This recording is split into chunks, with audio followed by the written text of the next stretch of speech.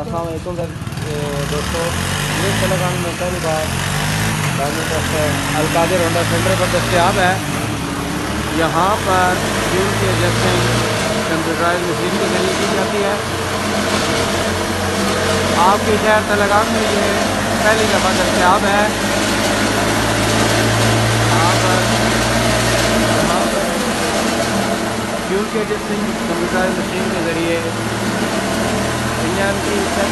are की